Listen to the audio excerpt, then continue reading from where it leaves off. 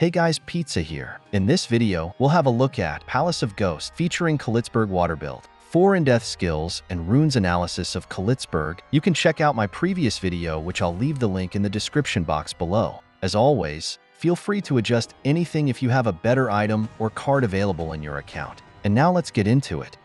First for stat allocation. Since there are some changes for the damage multiplier for Khalitzburg, so I change my stats build max out STR first to boost attack damage, then max Agi for the damage of Wish Flower, and then allocate the rest of the stats to Int, because Magic Attack also boosts the damage of Khalitzburg, and then Bit of Vit for survivability.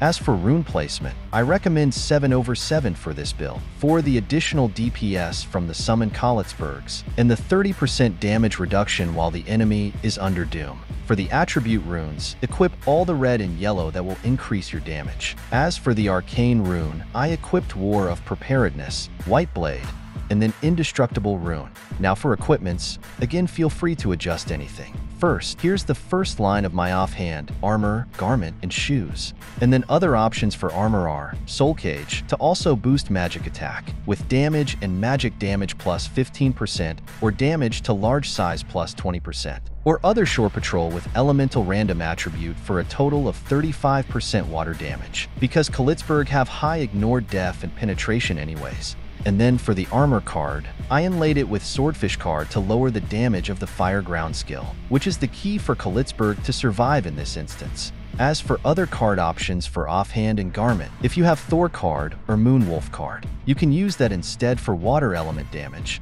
Then for accessories, aim for high first line of water damage for maximum damage output. For weapon cards, if ever you don't have Drake Star card, you can use two pieces Minorous Star card instead, but make sure to use Expert Precision Stone. As for headgear, other option is Homestead of Snowy Owl for more water damage and then an additional 10% damage increase since the element of the MVP is fire. And then for back gear, if you don't have Chicken Axe, other option is Wrathgrasy Fallen Feather for 10% chance to trigger Lex when using skills, or Rock and Roll Cactus for skill damage and cooldown reduction. And then here is the Shadow equipment side.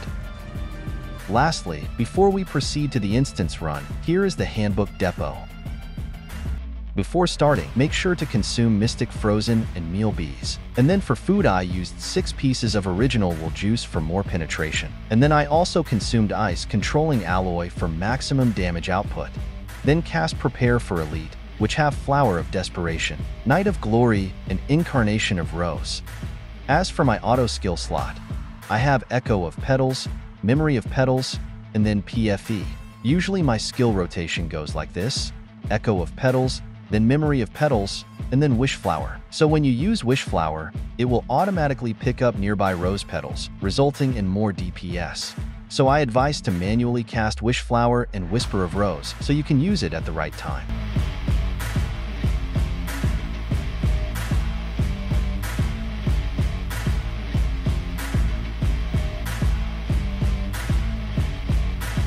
By the way, when you use Wish Flower, quickly reposition yourself by moving away from the Fire Ground skill. So the damage that you will receive from the Fire Ground skill is just for a couple of seconds.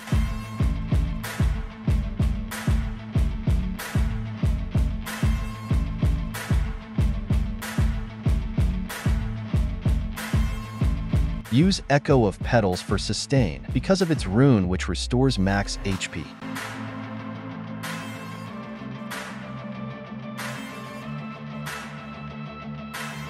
We will just forward this since the instance run lasted for a total of 8 minutes and 40 seconds, which is about a minute faster than the Saitama AFK build. I made this one because a lot of players have more access to Khalitzburg, since Saitama is a collab class.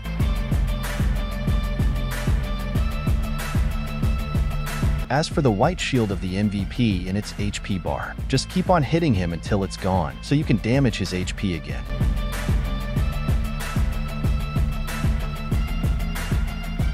If ice controlling alloy wears off after 5 minutes, use Ice Mastery alloy for consistent damage.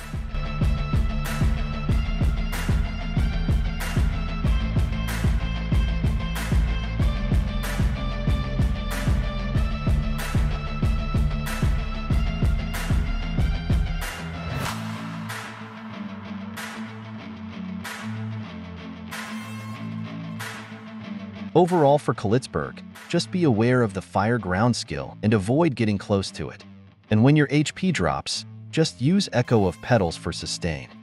And if ever Wish Flower is still on cooldown, just get the petals on the ground to turn it into Memory of Petals for continuous DPS because of the core level 4 passive, which is when a petal is picked up or removed it will cast Memory of Petal at its location.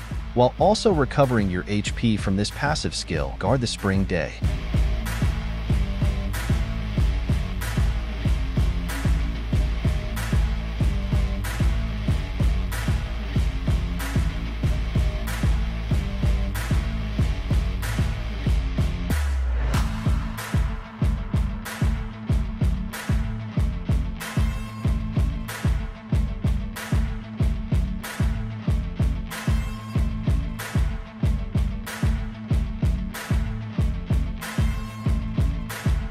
And I think that's all for this video, guys. Don't forget to like or subscribe to stay tuned for more. See you guys again next time and thank you for watching.